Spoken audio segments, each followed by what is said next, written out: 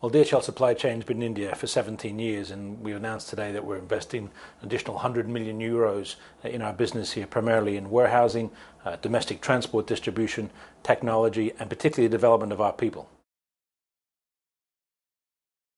The weakest link of the chain uh, is the one that will obviously uh, impact the service level. So we're investing in our warehousing uh, capacity, uh, both the ability to cater for growth, but also to cater uh, for future growth and to cater for what could be a post GST environment. Although these investments are around the demands that our customers have today, but allow us to factor in growth going forward.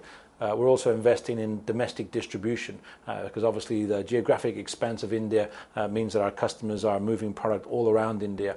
But the key for us is two, twofold. One is the visibility we want to give our customers, hence the investment in our technology and our control towers so our customers can see where their product is and they can respond to their customers about the availability of that product.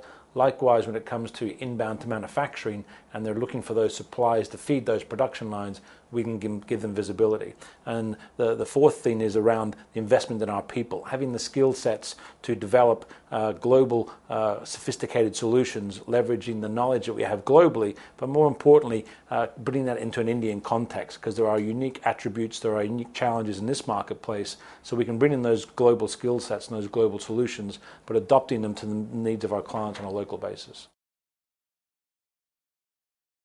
There have been many studies, and we certainly participate in a lot of studies, and we're doing a lot of work for our customers around what a post GST environment looks like. If we look at other markets that have deregulated and changed uh, their, their, GST or their local VAT environments, what we will see is a consolidation. Uh, so rather than having to operate in every state, uh, companies will consolidate into a uh, smaller uh, number of, of states, but much larger footprints. Hence the investment that we're announcing today in our uh, warehousing facilities. Those facilities have expanded expandability. So even in a post GST environment, we'll already have built in the capacity to cater for our customers' needs.